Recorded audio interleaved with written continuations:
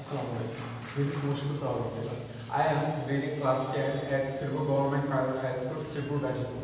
I am very excited to participate in ISA project under British Council. From our, our project name is Waste Management.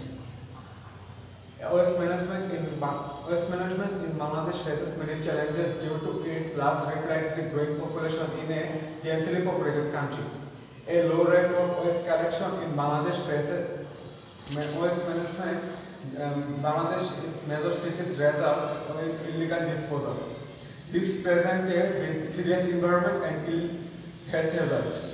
Bangladesh is the ninth most populous and 12th most populated, densely populated country in the world.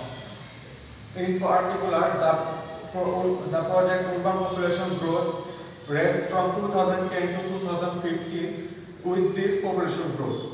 There is an increasing problem of waste management in Bangladesh.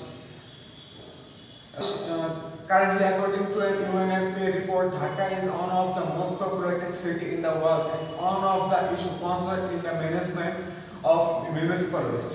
As for solid waste like paper, carton, plastic, split bottles, e-waste, there was no initiative uh, to ensure environment-friendly recycling.